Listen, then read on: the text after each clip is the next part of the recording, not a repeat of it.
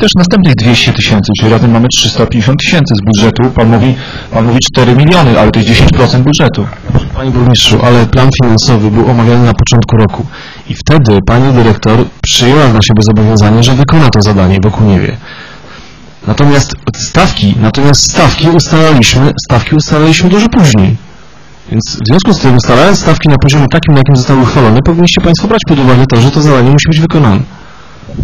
Zada, zada, zada, zadanie było przewidziane w planie finansowym, ale równocześnie w planie budżetu na 2013 rok była kwota 140 tysięcy złotych jako dotacja dla zakładu komunalnego na wykonanie zbiornika aeracyjnego w Okuniewie. Ale umówiliśmy się, że zakład komunalny nie będzie się zwracał z prośbą o dotację, tylko te pieniądze znajdzie w budżecie.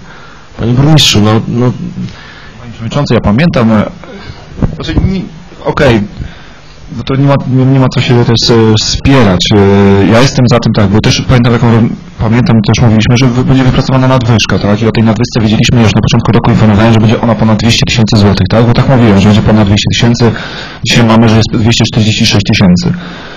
Dzisiaj, wiadomo, każda oszczędność, która będzie w zakładzie komunalnym, ona wróci. Ona wróci w przyszłym roku ewentualnie.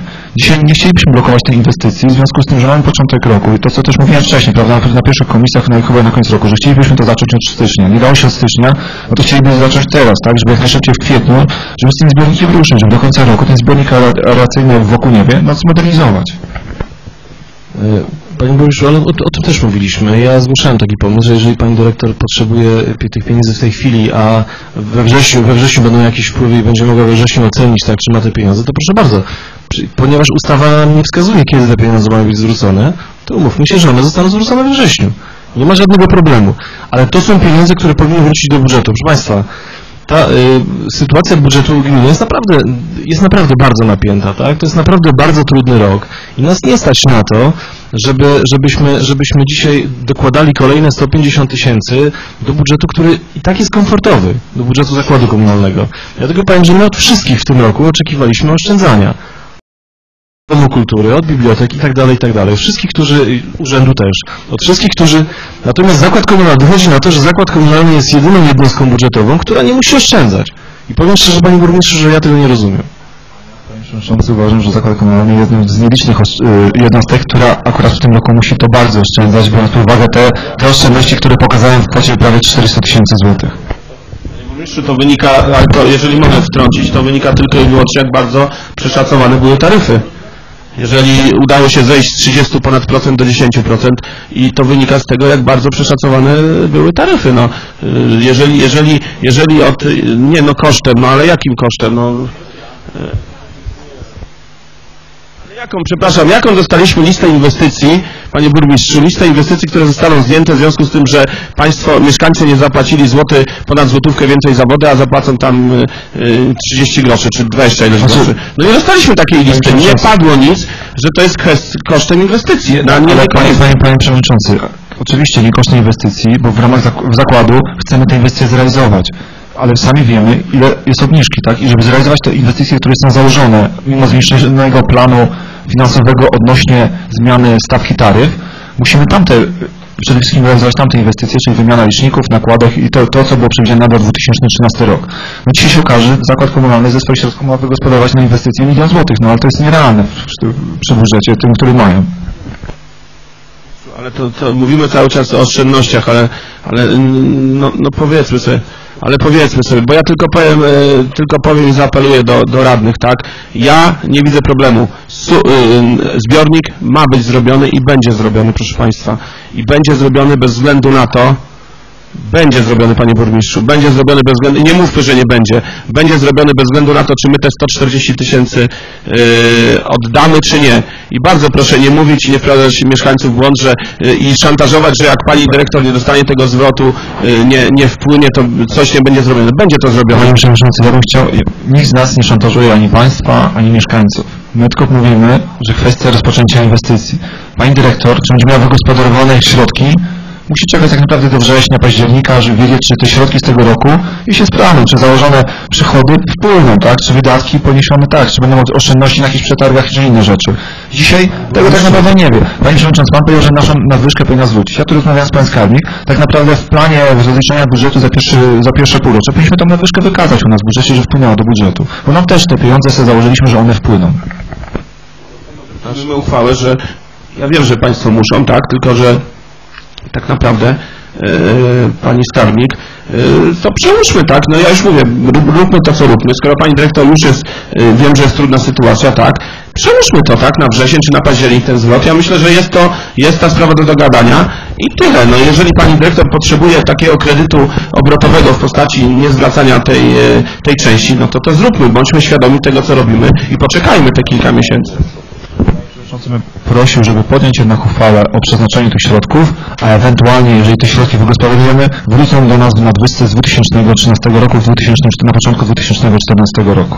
Drodzy Państwo, ja, ja bym prosił jednak o rozsądek, bo ja tutaj słyszę taką deklarację pana burmistrza, która mnie nie, niebywale zaniepokoiła, że ten zbiornik może nie powstać.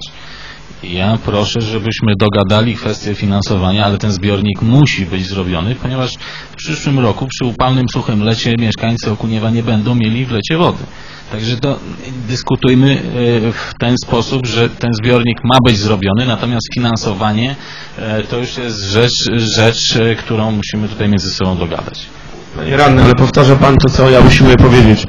Nie ma zagrożenia dla budowy zbiornika. Ale I pan burmistrz przed chwilą powiedział, że takie zagrożenie może się pojawić. Nie ma, za, nie, ma, nie ma zadłużenia, ponieważ e, pani dyrektor ma to wykonać i moim zdaniem są możliwości oszczędzania w zakładzie komunalnych. Te, te, tak naprawdę oszczędzanie nie zostało wykonane przez, e, że tak powiem, powiem tak, zmniejszenie taryf, panie burmistrzu, ja dziękuję bardzo.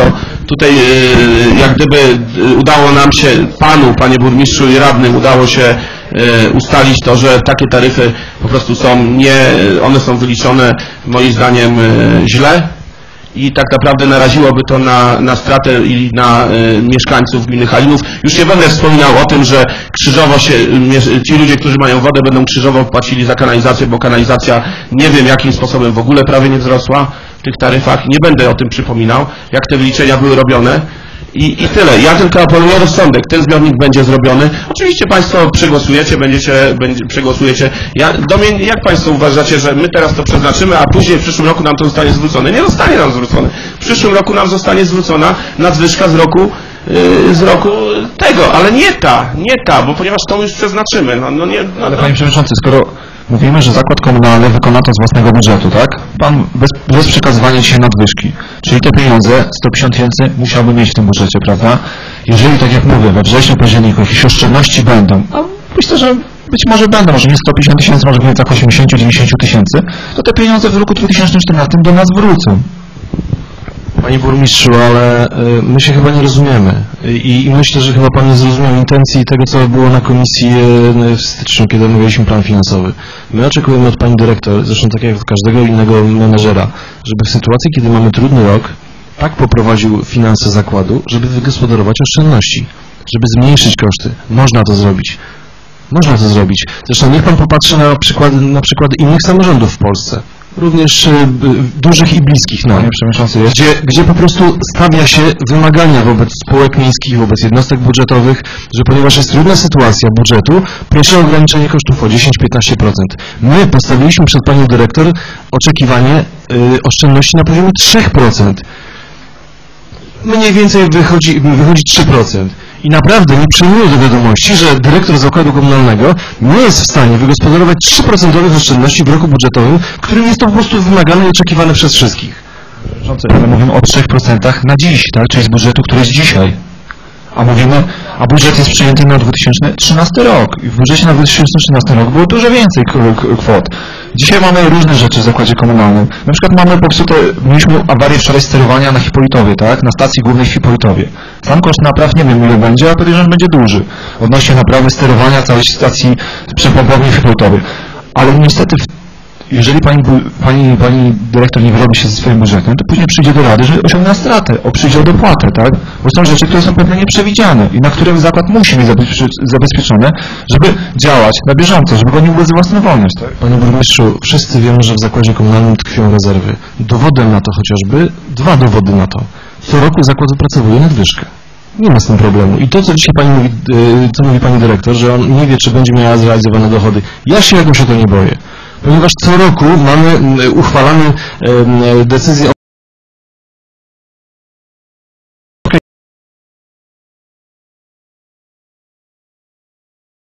zakładzie komunalnym